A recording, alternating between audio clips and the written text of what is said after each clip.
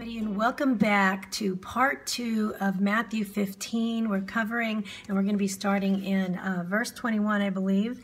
Yes, Jesus heals a Gentile woman's daughter. And um, it's just a really beautiful little it's i don't think that this is going to be a very long video. Um, i'd be surprised if it is because um, the questions answering the questions are kind of short and to the point for the rest of the chapter here. Um, so we are in our question number three. What was the cultural background of the woman who sought healing for her daughter, and why was it significant in this chapter? And we find those um, answers really in verses 22 through 27. So let's get started on reading that part here. Um, then Jesus went out from there and departed to the region of Tyre and Sidon. And behold, a woman of Canaan, she was a Canaanite woman, came from that region and cried out to him, saying, have mercy on me, O Lord, son of David. My daughter is severely demon possessed.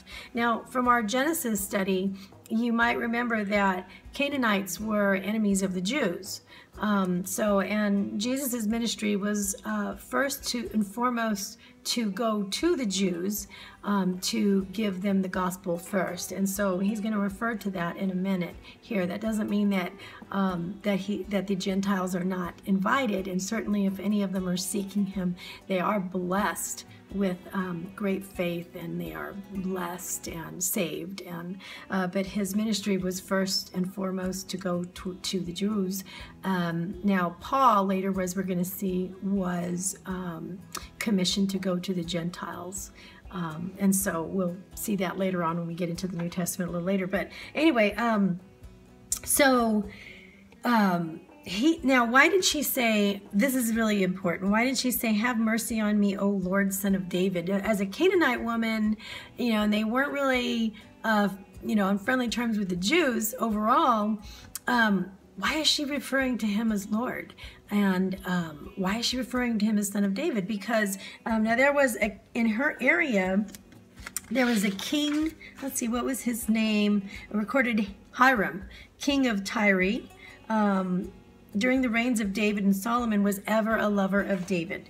Um, we see that, you know, a little bit more about that on 1 Kings 5 1. So uh, that might account for how she would have known about him and if if the past king in her area would have been a follower um, and very um, you know, very uh, impressed with David and the writings of David, um, then he probably would have handed that down within his kingdom, or the people would have known about it. They would have, people are usually keen on what their king likes and doesn't like, you know, and so she, uh, if she knew about the writings, then she would have known about the prophecies of the Messiah. And so here it, it obviously appears that she believes who Jesus is, that he is the Messiah, that he is fulfilling the prophecy. So then she um, refers to him that way, son of David, and also Lord, which is really interesting. Um, so then in verse 23, but he answered her not a word. And there's a reason why Jesus is not answering her here. And his disciples came and urged him, saying, Send her away, for she cries after us. And isn't that always the disciples' way of handling things for a while? I mean, the people are hungry, send them away. This woman's crying, send her away. You know, just that's very human response, you know, just to when something's bothering you, send it away and it's it'll take care of itself. You know, then we can go on with our life the way we were Jesus. And that is not the way Jesus handles people with problems. Um, he deals with people with problems and he is an expert in dealing with people's problems. so he doesn't go for that. Um, so he said, and then uh, he answered and he said, to her, now this is a test, he's putting her through the test.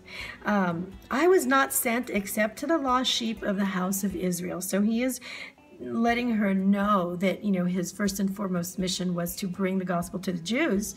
Um, and then she goes on to say, then she came and worshiped him, saying, Lord, help me. She obviously knows who he is and that she obviously accepts him as her Lord. She's identifying him as her Lord.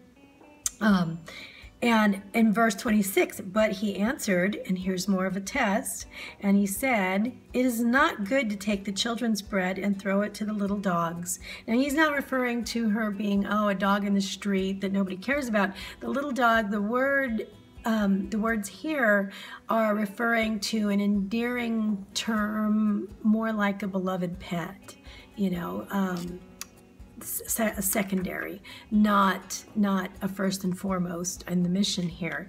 And so um, he's testing her now. And she says in verse 27, and she said, Yes, Lord, yet even the little dogs eat the crumbs which fall from their master's table.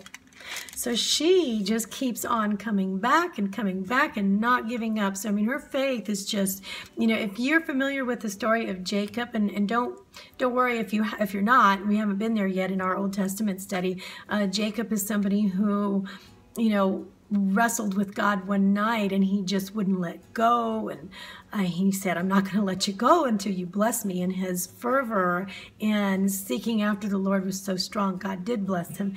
And we kind of see the same type of a spirit here in this woman. And she's basically, it's almost as if she's grabbing onto him saying, I'm not going to let you go until you bless me, Lord. And finally, that's when he broke and he just said he loved it. Jesus loves it when we come to him like that and we just don't let go. And she was basically saying, I would rather have the crumb off of your table than nothing at all. And he said in verse 28, then Jesus answered and said to her, O woman, great is your faith. Let it be to you as you desire and her daughter was healed from that very hour and so the peace of you know you can just see the peace that surpasses all understanding filling her house at that moment. So when she got home, her daughter was going to be at right, peace. Then we go into Jesus healing many from 29 through 31. We see that Jesus departed from there, skirted the Sea of Galilee, went up on the mountain and sat there. Then great multitudes came to him, having with them the lame, blind, mute, maimed, many others that they laid down at Jesus' feet, and he healed them. So the multitude marveled when they saw the mute speaking, the maimed made whole, the lame walking, and the blind seeing, and they glorified the God of Israel. So among these many people, we see when Jesus feeds um, the 4,000 plus in the next section, um, keep in mind that many of those people were just healed. Many of those people were here and they were following him for that healing and for, so they've seen, um, you know, the, resurrection of their uh, of their their infirmities as well as you know just a rejuvenation of their souls as well. And it's just been a wonderful wonderful time right, so here. to answer question four that was sent out why was her daughter healed? When we see that in verse 28 the answer to that is um, it was her great faith number one, Jesus had compassion on her and put her through the test, and she had great faith. In 1528, that's what we see. And um, also, we see her determination. She was desperate and she was determined. And isn't that great? That's where right where we need to be sometimes, desperate and determined for God, you know. And then that makes it makes all the difference. And something that is just, you know, really important not to miss here is that this Canaanite woman, um, this Gentile, Gentile woman, is representing, you know, millions and millions of people who are Gentiles like myself, who, you know, now are still, um, I'm still, you know, we're still um, encountering the rejuvenation of our souls and our lives here because of Christ, you know, to be, so we, we need to seek out, seek Him out daily and be determined and and uh, desperate and determined on a daily basis for for God, for Christ, um, for Jesus. You know. So here we let's go on to number five. The question is: Christ feeds four thousand plus in this chapter. What did his disciples still need to learn? This is really important. Um, this is really important. You know, what's funny is just to see how the disciples sometimes can just be so human. It just is something that I can relate to. I know, you know, other people can, I'm sure. Um, verse 32 Now Jesus called his disciples to himself and said, I have compassion on the multitude because they have now continued with me three days and have nothing to eat. And I and now now before the disciples can say, "Oh, the multitudes are hungry," send them away. Before they, they can do that, he says, and I don't want to send them away hungry lest they faint on the way. So don't even suggest that, he's saying, because you guys always want to send everybody away when they have problems. Um, and then in 33, so the disciples said to him, okay, they say, um, where could we get enough bread in the wilderness to fill such a great multitude? Um, and that to me just kind of like strikes me as, really?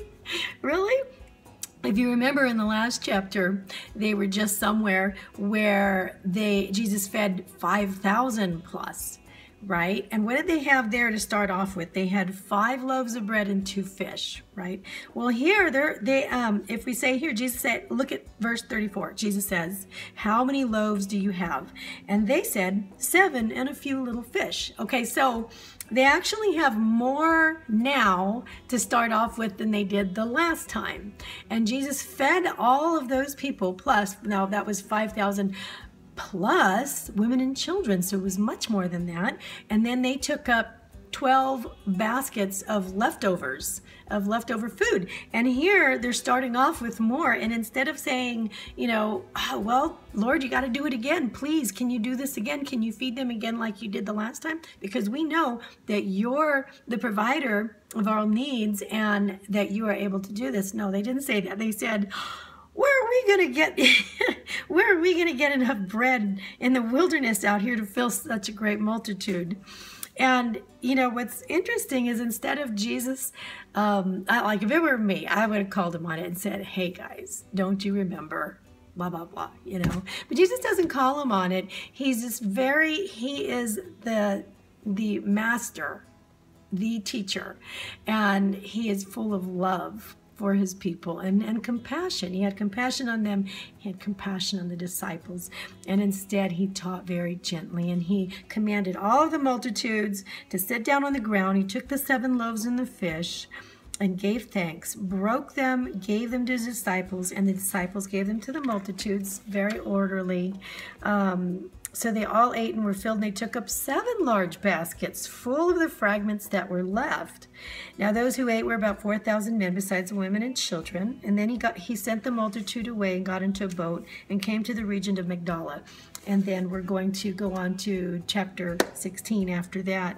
Um, I just think it's just really wonderful how you know when we make here the disciples didn't get it still. They you know they have to learn a lesson over and over and over again. So my answer to question five was that they still needed to learn that all of their needs are fulfilled in christ. You know that jesus is the master provider and instead of asking where we're going to get the bread this time they should have came to him right away and just said well we have faith that you can do this lord. We've seen you do it before and we know that you're the provider.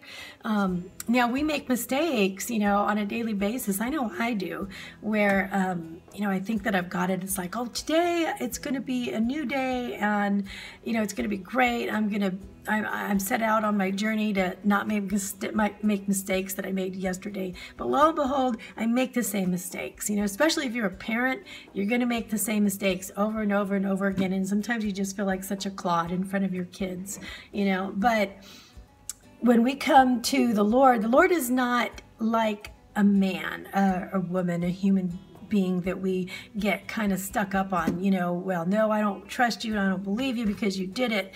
Um, you know, you've done it a million times, I don't believe you anymore. That's how we would normally handle things. But the Lord forgives. And, and the Bible says when He forgives our sins, He removes them as far as the east is to the west. You know, they're gone, they're obliterated. He doesn't see them anymore. We see them, we feel them, we don't forget them, but He does. He forgets them. And so when the disciples, you know, made that mistake and they still needed to learn this, what did he do? He taught them again, gently and lovingly. And you, we just need to remember that, I think, is that when I make that mistake again, he is there to forgive me and he's there to be gentle and non judgmental and he's going to forgive me. And we're going to start anew again. Joy cometh in the morning, you know, and, and, he forgives me. I have to be able to, it's almost seems like impossible to see ourselves, you know, the way that he sees us. But we have to remember that his, um, his eyes are different from ours and they're much more beautiful. Um, so there we go. I just wanted to give you that bit of insight. I hope it helped you as much as it did me. And I will see you in chapter 16 of Matthew. Thanks for hanging in there with me. And I love you guys a lot. Have a wonderful Sunday. Bye.